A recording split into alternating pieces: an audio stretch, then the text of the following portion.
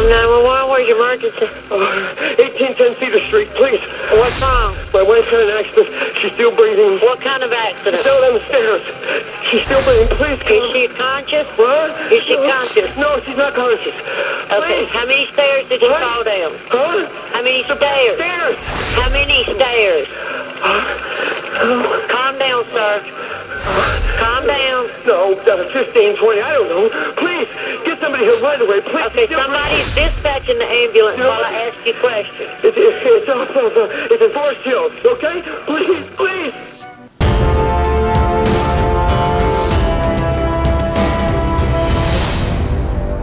This is Reporter Room with Jessica de la Davies. Welcome to Reporter Room, where we seek truth and justice. My name is Jessica de la Davies. I'm an investigative journalist, and today we're going to do something a little bit different. I'm going to present you guys with the evidence and theories in the staircase murder case, and you guys are going to be the jury and render your verdict at the end of the video. The staircase murders it's an absolutely crazy story, so please stay with me until the end. And before we start, please subscribe, hit the notification bell, and give this video a thumbs up and help Reporter Room grow. So, Michael Peterson's an American novelist, and he was born in October of 1943. He was convicted by a jury in 2003 of murdering his second wife, Kathleen Peterson. She died on the staircase of their beautiful home. Everything I'm sharing with you today is my opinion, and opinions are not facts, so please don't send any negativity to anyone, anytime, anywhere. Thank you to our channel members and also to our subscribers, and a big shout out to our producers, Energy Shots and Sasha Angel. So, what happened?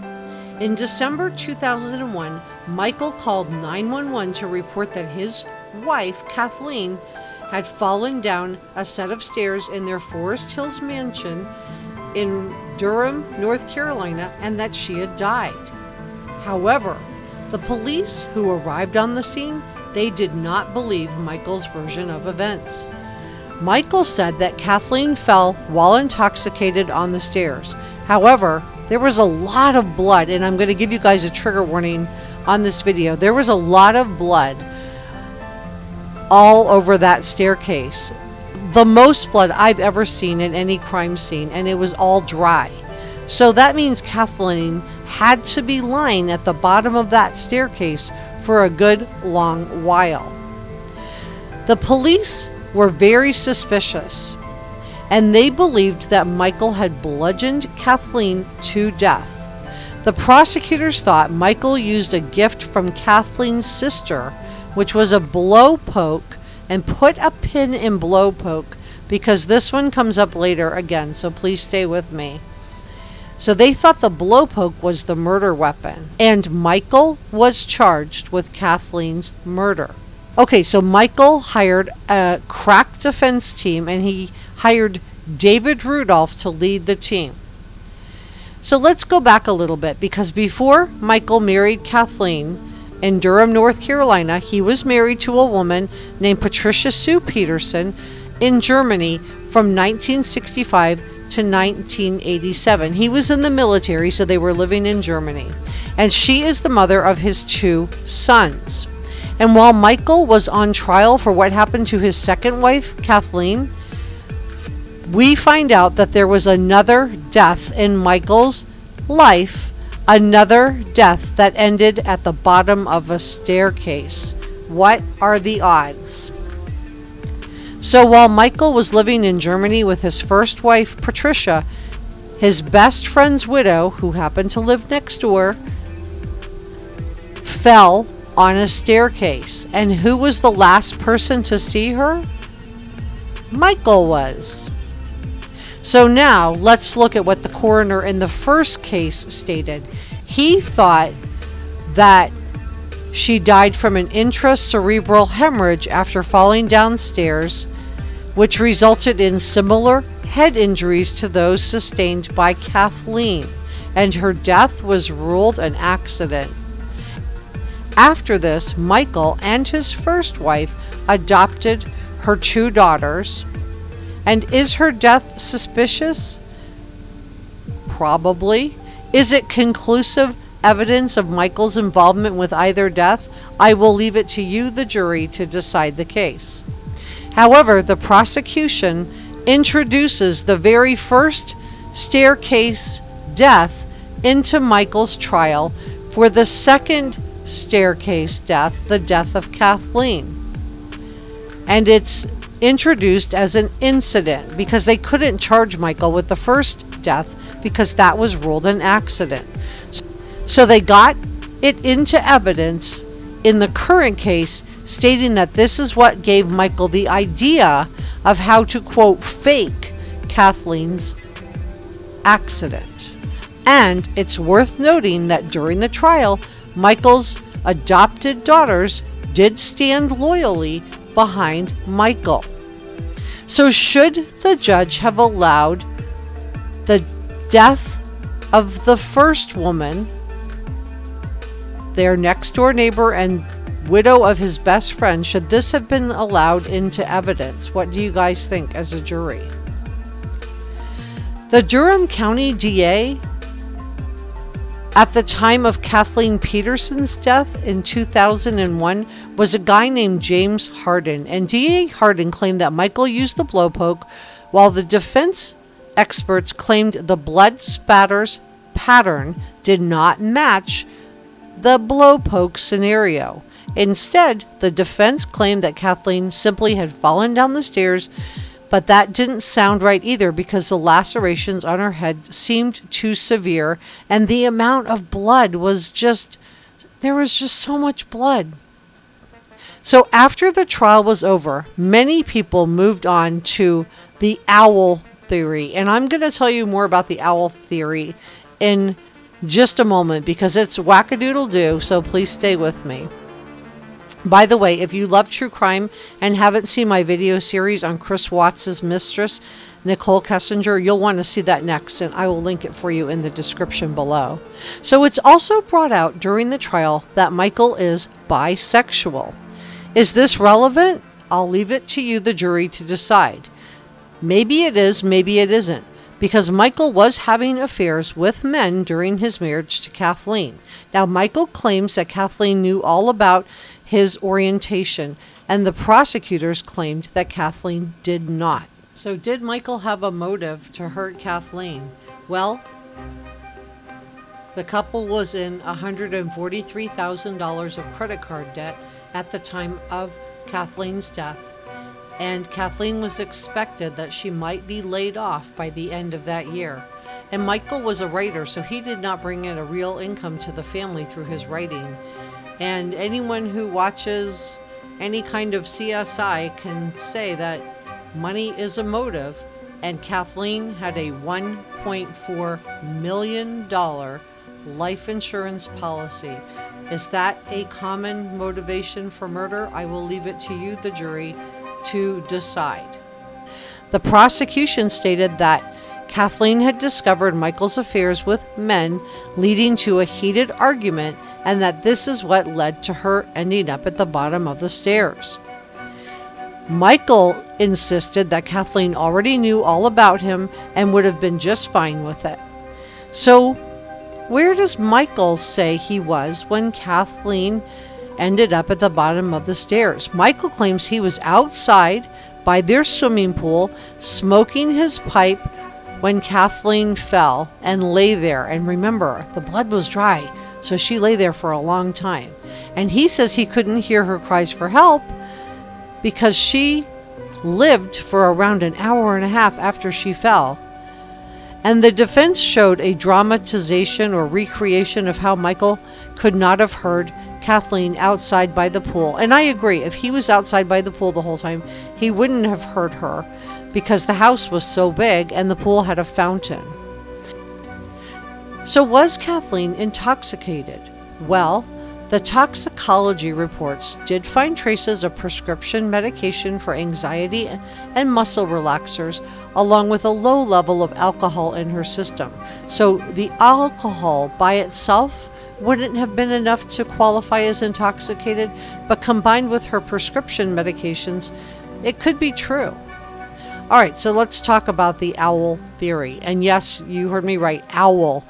So a neighbor came up with the owl did it theory. And this theory says that Kathleen was attacked by an owl outside the house before she went in, and they claim that during the owl onslaught, she fell and then slipped and fell a number of times, leading to the injuries that led to her demise.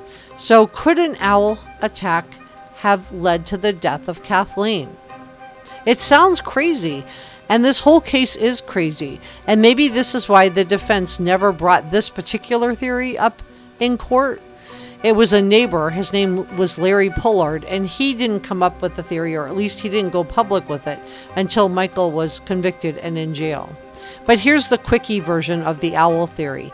Kathleen was heading back inside the house. An owl swooped down, hit her head. It dug its talons deep into her scalp, causing the lacerations. She rushed inside to escape from the owl. She had been drinking and had taken her prescription meds, and she tried to run upstairs, slipped, fell, fainted, and passed away. Michael came in hours later and found her on the floor. And before you left me off YouTube, they did find microscopic owl feathers along with some of her hair in her own hand. And also, the wounds on her head did look like they could have been made by claws. Last, owl attacks like this do happen, and I'm not saying to you, good jury, that this is what happened. I'm just giving you the evidence and the theories so you guys can decide for yourself. What are you thinking? So, the trial against Michael Peterson lasted for three months and included testimony from a gentleman of the night, shall we say, who never met Michael but was in email contact. Should the judge have allowed this in because it seems like it was just put in to dirty Michael up? Because he never even met the guy. The prosecution spent most of the trial claiming that Michael hit Kathleen with this blowpoke that had mysteriously disappeared, according to the prosecution, except that it turns out that the blowpoke was in Michael's garage the entire time. And when the defense tested it months later, it had cobwebs and debris on it, but not a drop of blood. So, despite the blowpoke debacle, a jury convicted Michael and he was sentenced to life in prison without the possibility of parole. And Michael would have stayed there, except the prosecution's blood splatter evidence, their witness, Duane Deaver, shady, shady, shady. Deaver was the blood spatter analyst for the State Bureau of Investigations, and he testified against Michael in this case, claiming that blood splatters on the wall showed Kathleen had suffered blunt force trauma, and this is what led to the conviction. In fact, his explanation was so detailed that the expert brought in by the defense could not overcome the evidence that he gave because he made it all up. In allegedly. In 2011, Deaver got fired for his handling of dozens of cases involving blood evidence, and it turns out he was just making stuff up. An outside review flagged around 200 cases. So, after eight years in prison, Michael was granted a new trial after the judge ruled that a witness, aka Deaver, gave misleading testimony.